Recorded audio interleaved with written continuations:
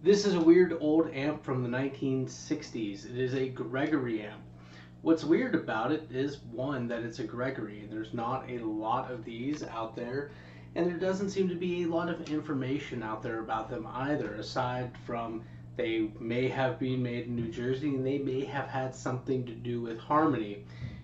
That's about all I can find. What makes this one particularly weird is a few things. One, it is a combination guitar and bass amp. There are two separate channels, one for guitar, one for bass.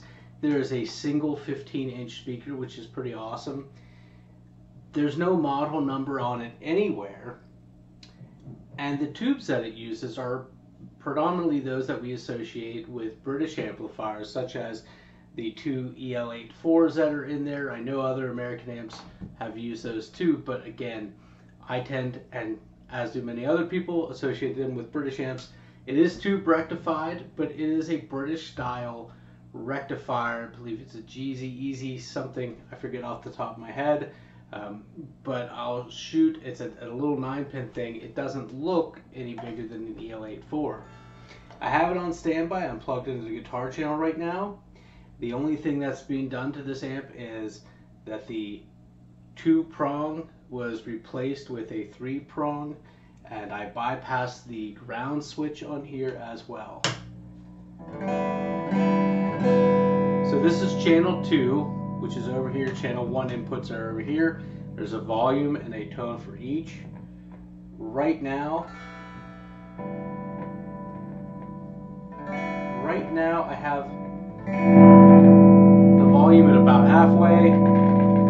Put the tone about halfway as well. There are no numbers to go from. It's just a turn of the knob.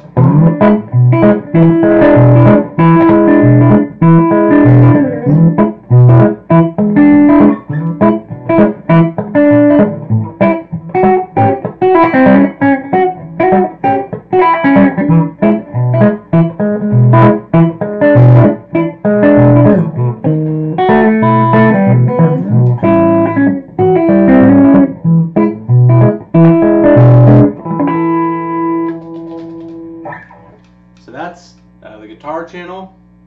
Um, input 1. Input 2, like a lot of fenders, like the, the Vibrolux over there, is filtered through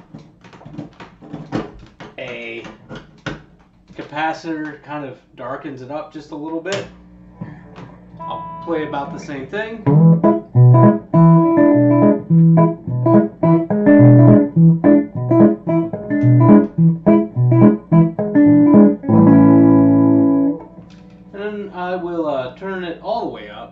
These pots are a little crackly.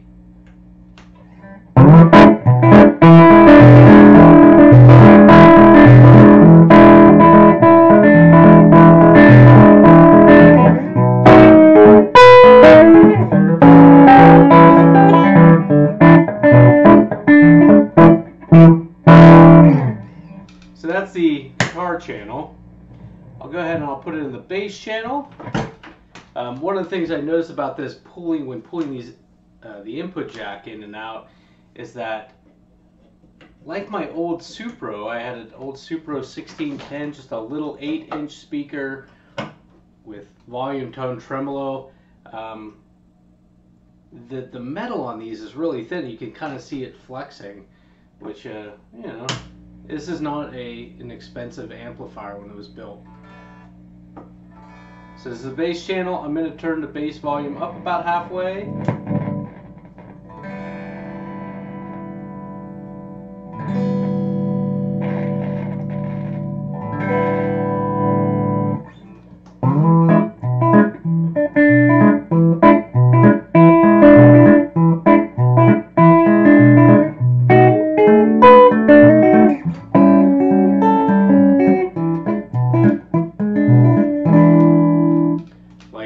Channel, there's the second input uh, where it's it's just kind of wired through another capacitor. Fire it back on. The volume uh, is at the same, about halfway up. Tone's about halfway up. Um, I'll put it on the neck pickup on this guitar. And I'll put it back in the center position just because that's where everything else was.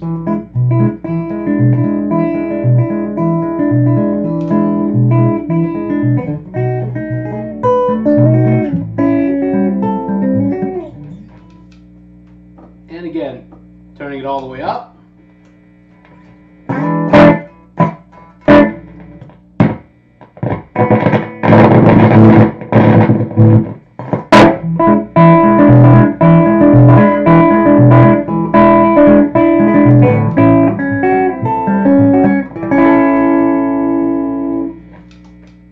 So you can hear it has a little bit of hum, and um, it's the pots are pretty crackly, especially on this bass channel. Uh, it sounds like there might be a little bit of a ground issue. It's an older amp. Uh, as I said, the only thing that's been done to it is I've gone in and replaced the original two prong with a three prong. I bypassed the ground switch because there was no need for it anymore, and it should be good. Um, but there it is. It's a strange Gregory amp. No model number. I'll put some pictures of the inside. Uh, the tubes sit kind of facing, pointing outward. Um, they seemed a little wobbly in there too. It's just a strange amp combination, guitar and bass amp. But there you go, a Gregory amp. I don't see these around very often.